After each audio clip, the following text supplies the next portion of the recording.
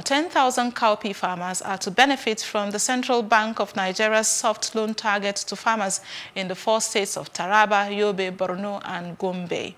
This was disclosed to newsmen in Abuja as stakeholders in the agriculture sector converged in the nation's capital to finalize plans on improving production of beans and cowpea in the next farming season.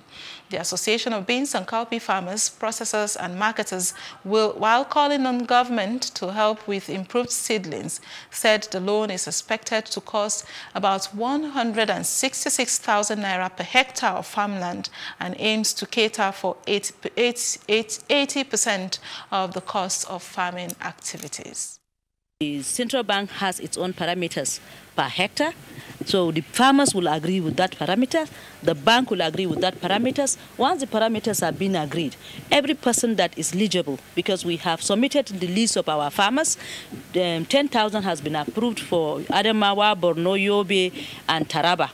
There are other, we have submitted all the other states but the verification did not come out yet. The cash component is the contribution of the farmer, which is 55,000 from what is on the board now. We have not finished, we have not concluded. When we conclude, we will now know. And that 25,000, it is not cash that the, the farmers will bring out. No, it's land preparation. If you notice, they will prepare the land, they will now harvest it. Those are the things the farmers will do. Instead of to invest in quality seed, right? They can have a kind of, like what they are doing now is very good.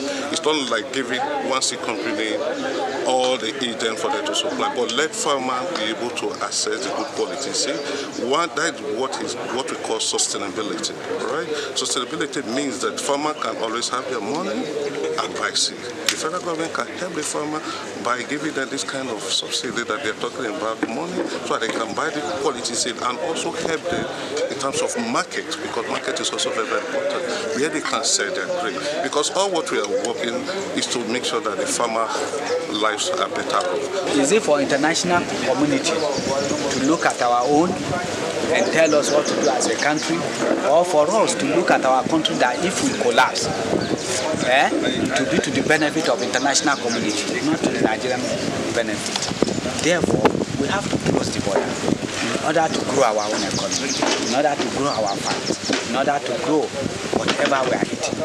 For the first year, we may suffer, but by the next, by the time next third or fifth year, you find out that people will have key into farming and uh, you now have uh, uh, uh growers of foods in Nigeria.